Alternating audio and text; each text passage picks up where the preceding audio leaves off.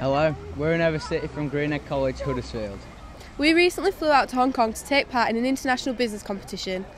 And we've invited Alan Barrell, one of the judges of the final panel, up here today to talk about entrepreneurship and innovation. Hi everyone, I'm having a great day here in Huddersfield with these wonderful people. Uh, I've met many, many of the students here and I'm very impressed with this institution. It's great, but here I am sitting with the team that I met in Hong Kong, so I had to go all the way to Hong Kong to learn about this place. And um, they, of course, were one of the winning teams and with an outstanding presentation in the Global Student Challenge contest, and I thought it would be great just to have a little word and see a how they're getting on, but b first of all ask you um, to introduce yourselves and then say how you got involved with this contest and perhaps a little bit about what it meant to you and anything you want to say about it, you know, because uh, you experienced it and you were one of the outstanding teams there, so please. So, so I start. Right, I'm um, I'm James Clare. Um, I led the team out in Hong Kong and we sort of got involved. It was a bit indirect, really. What happened was um, Mark, who's the head of business now at Greenhead, selected a few students that he thought had had the capability to present after doing sort of a small challenge within the college. And we were lucky enough to be selected, shortlisted down to about six or seven.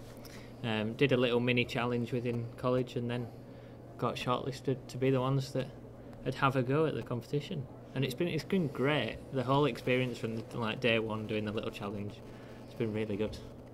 Yeah, I thought it was just the competition were a great opportunity to see uh, that part of the world. I've never seen that culture, and Hong Kong it was a really amazing place. And then as for the competition, it, I think it developed all of our skills in terms of like developing a business plan and financial plans, and it just really increased our understanding of of business, really. Yeah.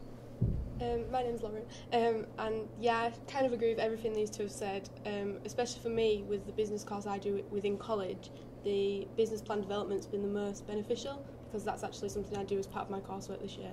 So that has really helped me. So why don't you say a little bit about the idea? Because believe me, uh, the business plan is a very interesting business plan, and the idea is highly innovative and uh, very much related to what we hope will be a sustainable world. So say a little bit more about that. Well, the whole basis of the business model revolves around um, being an eco-friendly taxi sharing service. Um, but we wanted to take it a little step further, and we used a lot of technology within our business plan, um, ranging from iPhone applications to location-based services. So the idea is that people can share taxis um, along the route by booking it quickly on their iPhone or all the other booking platforms we mentioned in our presentation um, but the whole idea of reducing carbon emissions because people were wasting journeys and paying full fares when they didn't really need to, and there's other people going. Yeah. Like the main USP is basically you can share a taxi to save money, and that's the USP of it. Yeah. But you use technology along the way to do that. I think it also gave people the opportunity to uh, travel in a way which harms the environment a lot less than it would if they use conventional yeah. taxis, really. And um, the software that will be developed is very, very detailed in its content and what it can do, isn't it? Could You say a little bit more about that. Yeah, well, we sort of we looked at it and thought, well, yeah, this is a great method, but people aren't wanting to do it. They're not going to plan ahead and book to share taxis. So to roll it out across the board to all these different devices and make everyone be able to use it. So we've got fully automated telephone lines, online websites where you can book, and then every single um, mobile device platform on a smartphone is what we're going to hopefully roll it out to. What um, do you think it was that marked you out? And you saw all the other presentations in the final, and they were very competitive presentations. These people were all very good. And I want to make the point that I thought some of the college presentations were better than the university ones, um, but they were all very, very good. So it was a very high standard. But, but what do you think it was on reflection that caused you to get the votes? I think our presentation, yeah, really. It was a presentation that did it. Yeah. The look of the presentation and the way we presented it, we spent so much time practicing the presentation of it and the style to get across succinctly what we were trying to say. So I think that was what did it for us. We And you- had we had most areas covered as well. I think anything that you tried to throw at us as a question, Mm. we sort of knew because we understood the business. It's Mm. because we'd created it completely.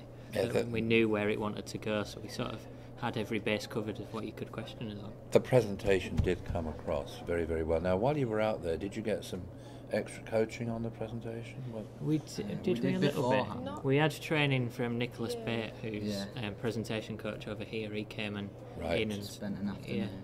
Yeah, he gave us some tips on how to be more confident, basically, Yeah, and he to look better when we're presenting. But out there, we actually didn't have. We did some practice, obviously, before the competitions, but we didn't have any specific um, training, as it I think he gave us quite a few tips to how to involve the audience a lot more. Yeah, So with a presentation, we tried to make it a bit more interesting and keep people attentive to it.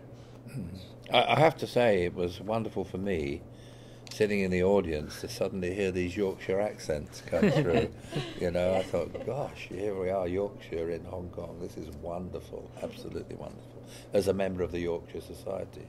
So, if you if you wanted to offer a message to other students that will be listening to us, because this is going to be broadcast into the NACU, National Association of College and University Entrepreneurs website and elsewhere, uh, would you have any, having been to Hong Kong, would you have any word of advice to the entrepreneurial leaders of the future that may be watching this? I'd say spot opportunities early. It was a fantastic opportunity for us to get this competition and go into it. And the people we met and the things we did out in Hong Kong just mm. opens your eyes to everything. And maybe cover all your angles of what you could be approached on.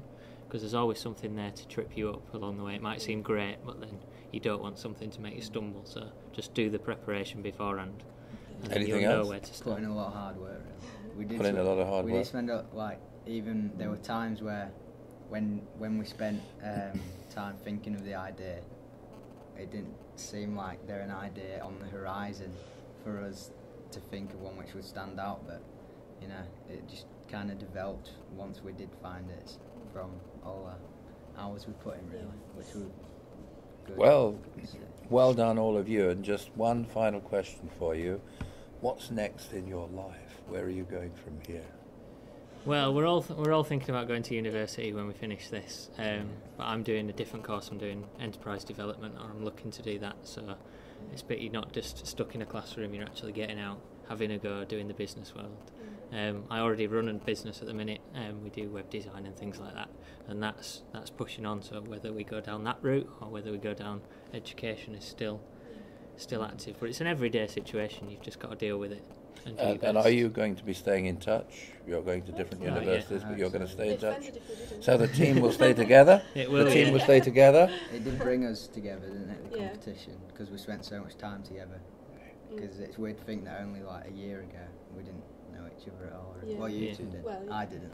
Yeah, we hardly knew each other, so Good. can't get rid of It's him brought now. Well, you know, um, just to wind it up, one of the universities I work with outside the UK is Laurea University of Applied Sciences in Helsinki, where the mantra and the pedagogy is all about learning by developing. And those of you that have listened to this uh, video commentary, I'm sure will understand why I am so keen on uh, encouraging the learning by developing movement because you've learned a lot by we have. Developing. You know, this is practice and theory hand in hand, and I think it's a wonderful story. So I'd like to thank you all very much. Thank you, Greenhead, for having me today, and the best of fortune for the future. Thanks for coming on. Thanks, Al.